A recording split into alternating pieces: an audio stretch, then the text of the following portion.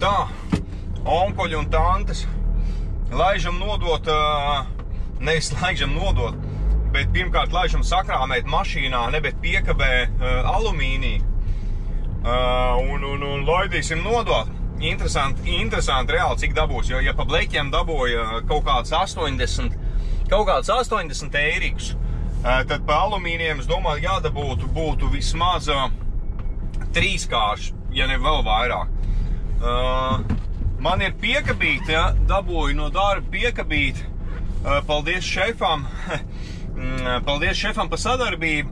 Un, uh, paņēma piekabīti, lai aizvestu. Pirmkārt, jau es, es biju uz Rīgā izskaies ar to piekabīti, tur divāni savās. Mm, Un, un, un uh, tagad pie reizes jāpaņem, šodien gan ir sestdiena, jā, es šodien viņus salādēšu. Un uh, šodien salādēšu un pirmdien vienkārši braucot uz darbu, smiltenē ievedīšu nodošu, jo tos bleķus es nodevu šajā te valkā. Vienu sekundīti. Bleķus es nodevu valkā, un, bet par cik man jābrauc ir uz smilteni uz darbu, tad tur padās ir tā, tas tolmets, jā, tad aizvedīs uz turienu un visu, un pēc tam ievedīšu piekabīt darbā un, un pats laidīšu uz darbu šancēt. Mm, jā, kaut kā tā, iesim krāmēt iekšā un pievienos piekabīt klāt.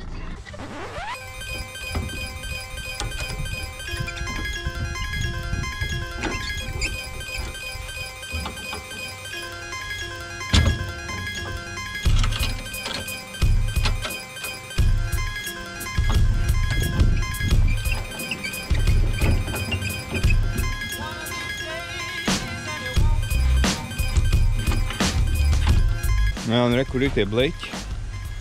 Alumīnija. Diezgan pamatīgi kaudz. Es ceru vispār, ka es varēšu piekabītē salikt visu. Te ir arī višķi bleķis jānorauj nost. Te ir, te ir vispār bleķi. Atsevišķi. Un tie jau var pie reizes jāizver, ko tad viņi stāvēs. Ar kādu kapeiku dabūt. Un Re, kur ir, jā, pamatīgi kaudz ar alumīniju. Mēģināsim salikt visu šie piekabītē iekšā un saštrapēt.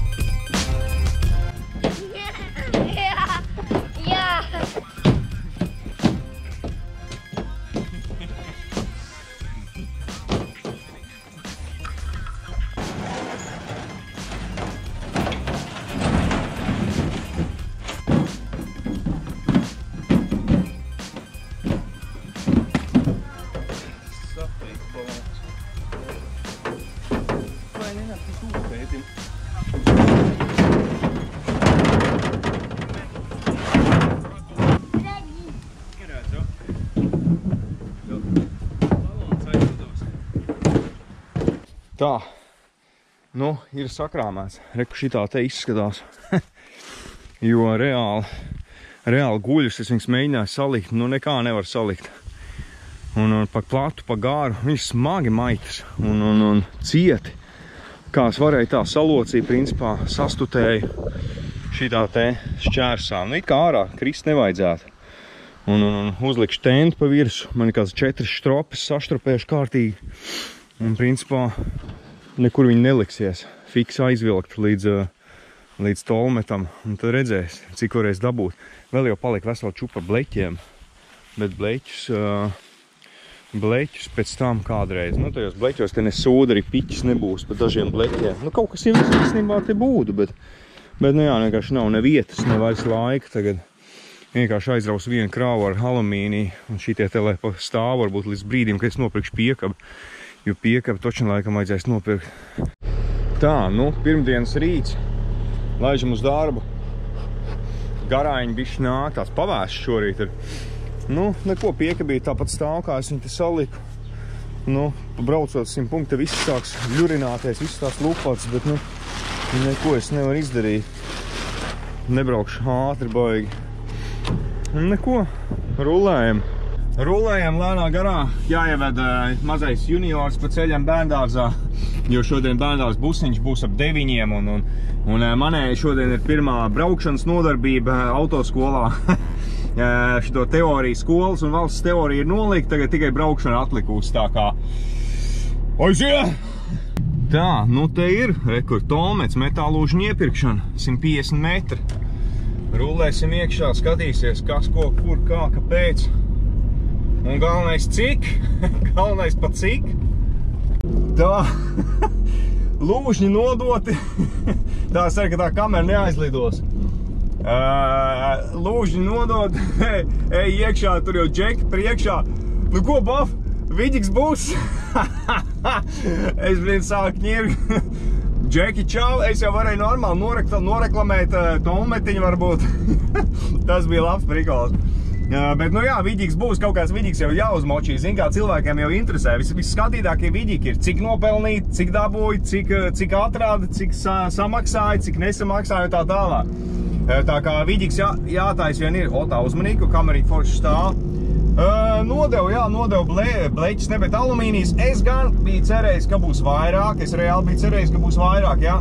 Tātad saņēmu 174 eiro. Uh, Jo, la, nu, jo viņi bija daļa no tiem alumīnija loksnēm, bija ritīgi nodirst ar, ar pīķi, ar pīķi, ar rubīku, jā, ar, ar, rubīku, ar rubīķi, rubīti un, un, un reāli sadirst. Es viņu cik varēju paplējis nost, bet, nu, lielākā daļa tur palika, palika virsū.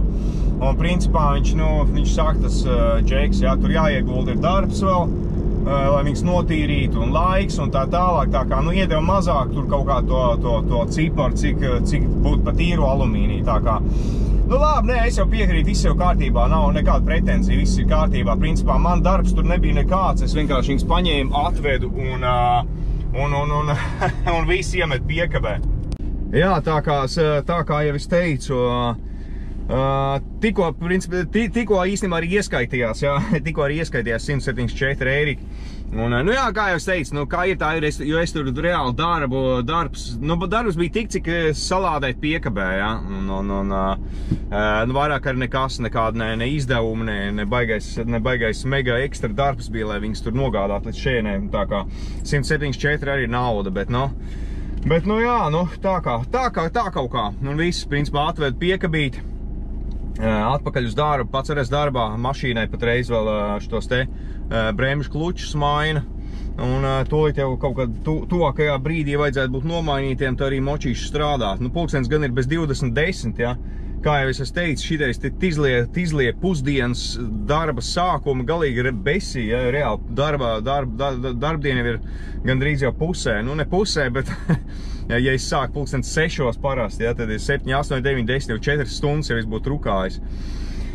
Nu labi, kā ir tā ir, pastrādās šodien ilgāk un, un mošu palikšu mašīnā vai kā. Nu redzēs, kā sanāks, tas jau viss ir baigi, baigi redzēs, kā dienas, diena ievērsīsies. Labi, viss pietiek pļurkstēt un uh, tiekamies nākošajā vidikā. Čau!